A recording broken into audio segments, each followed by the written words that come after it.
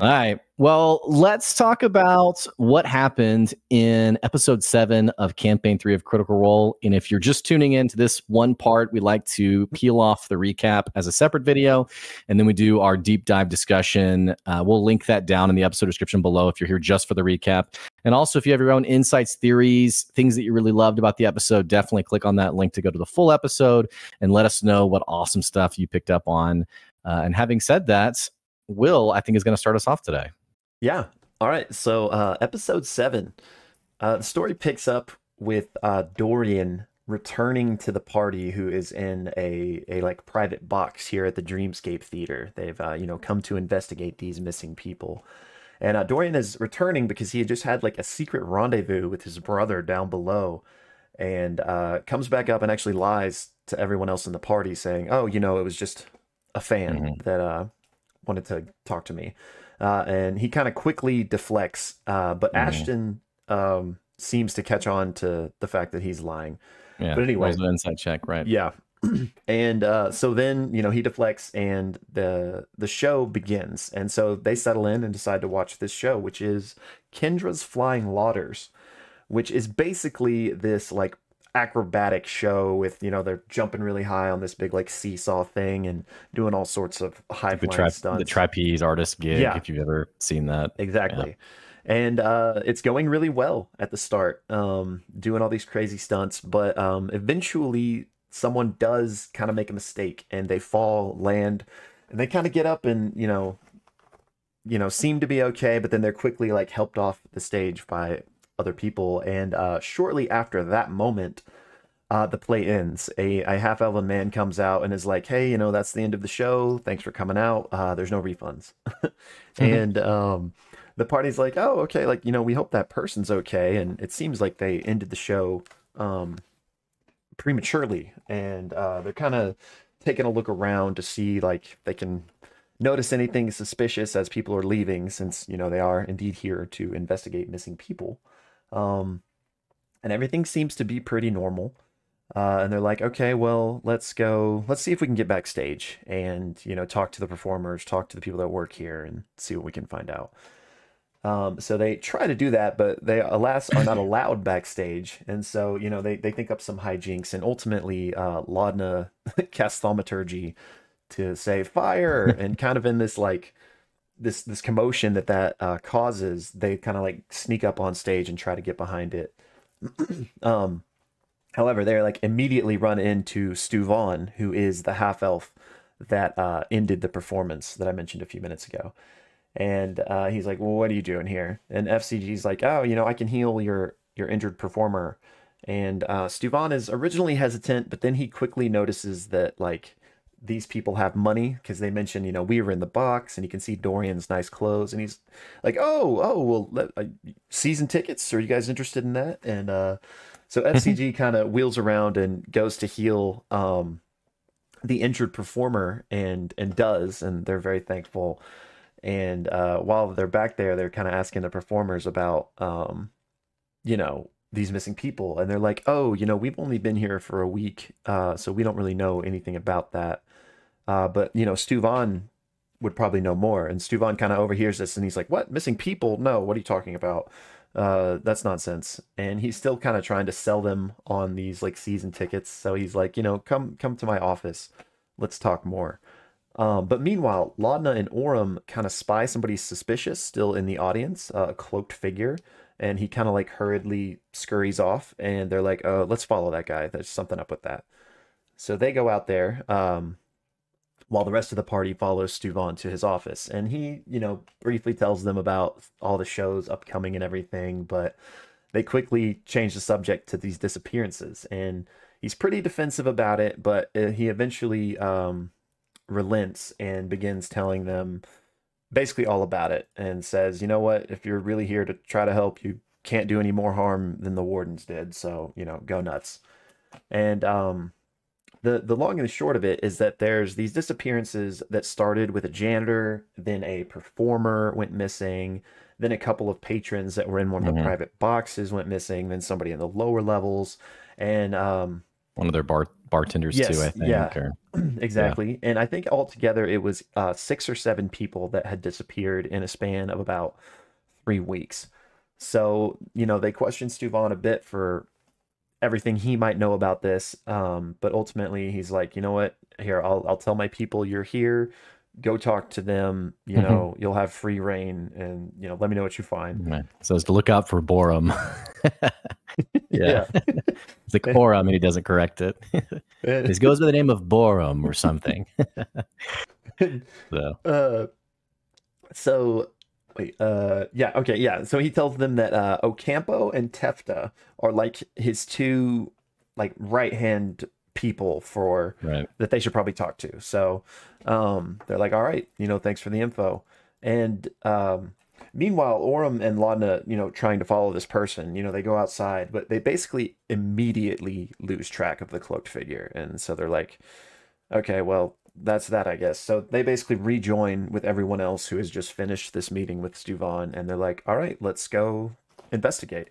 So they first go talk to Ocampo, who is this um, who's this human in his like mid 30s and they basically ask him all the same questions they've been asking everyone else about these missing people and ocampo kind of fills them in on what he knows nothing too juicy um, but he has the keys and lets them access like backstage and all the dressing rooms and they just search this whole area um, they don't really find anything of of import or anything that points them any direction for this mystery so after they've searched everything they can with him, Ocampo takes them to Tefta, who is this great NPC, like a gnomish woman that is hitting on Orym the whole time. And uh, they basically ask her now all these same questions about the missing people. And they do find out a bit here.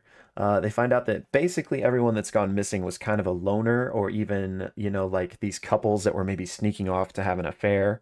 Um, so what they glean from this is basically like, okay, these people maybe were somewhere like private when they disappeared. And so they're like, okay, so where could that be? Like, where are some private areas around here? And Teft is like, well, here, here's the keys. You guys just look wherever you want to. And so now the party has full access to search. Um, Yeah. And this is a very um, sultry person, and Imogen is doing detect or open mind, you know, detect thoughts basically. And afterwards is like, you know, I saw things that I never thought I never wanted to see, like limbs in places that, you know, just and they're like, what? it was a lot. Yeah. So Anywho. So now that they have free reign, the party actually splits up, and you know they're investigating all the different places. Like Orym and Dorian, like go up to the rafters and to the roof. Um, uh, I think they split up into maybe three or four groups, and basically just investigating everywhere else that they hadn't already. Um, but ultimately, this takes us to Imogen um, entering an alley and getting kind of a weird vibe. And she uses her detect thoughts and like can sense a presence, but she can't really like tell what it is. And the rest of the party is kind of converging on this alley as well. Um, and so FCG also does his kind of detect thoughts thing, and he agrees that yeah, like there's something here. Um, and uh, Dorian and Orym actually were on the roof at this moment, and kind of they could see everyone else converging here, so they start making their way down. So now the whole party is in this alley, and they're looking around, and what they can see in the the far back of this alley, there's a wall that an eye all of a sudden just appears on, and then that's followed by these like tendrils jutting out of it, and these like jagged points, and they're like, "Uh, what's going on here?" And that's actually where the episode goes to break. And uh, if you want to take it from there. Yeah, yeah. So they are apparently fighting this um, mimic wall sort of creature, and it's um, it's this big, you know, fleshy creature that's like sort of implanted into a into a false wall, really. And uh, like Will mentioned, has this you know eyeball pseudopods. I mean, Matt does a great job describing it, by the way. And uh, immediately, a couple of cool details. Um, they go into combat. It gets a surprise round and just totally begins to start to crush the party. Um, a couple of Yeah. details from this: um, it actually grapples Laudna and pulls it, pulls her against the wall, uh, and actually tries this a couple of times. There's another time where it actually bites uh, onto Ashton, And as Ashton pulls away, um, all of the teeth just break off and um, come loose from this like toothy maw. And then Matt describes it as like another um, another like uh, row of teeth like emerge forward like in its place. Yeah. So very creepy. um, there's this other cool move that it does where it shoots like it sort of bubbles up this burp of like this acid bubble that sort of floats out and then pops. And uh, actually does that a couple of times, and it's incredibly devastating to the party. And um, even towards the end of the combat, Orym actually gets uh, seemingly he's on his way to getting swallowed by this creature uh, before they finally are able to kill it. Um, we also get a couple other cool things that happen. Um, the party as a whole, they do a terrible job in, in terms of rolling to hit, even though the combat's only a few rounds.